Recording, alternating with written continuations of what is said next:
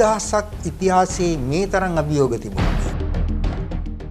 හැම පිළිකා වර්ගයක්ම මේ වෙනට අපි සුවපත් කරලා තියෙනවා. මෙම වෛද්‍ය ක්‍රමය වසවිස වලින් තොර වෛද්‍ය ක්‍රමයක් කියන අභියෝගය තමයි මෙතුමන්ට එන්නේ. තම ලෝක සෞඛ්‍ය සංවිධානයේට ඍජු අභියෝගය එල්ල කරමිනුයි අපේ ගමන් මඟ අපි සකස් කරගත්තේ. අන්දලමුන් දෙදෙනෙකුට රසදිය භාවිතයෙන් අපි අන්ධභාවය තුරන් කළා. නිසා අපි මේ හැම රෝගයක්ම අපි සුව කරලා මාධ්‍ය හම් තියලා අපි ලෝකෙට ප්‍රකාශ කළා. තිබිච්ච බැරෑරුම්ම රෝග තත්ත්වයක් වන ඒඩ්ස් රෝගය ප්‍රථම වතාවට සුව කළා සාක්ෂි සහිත.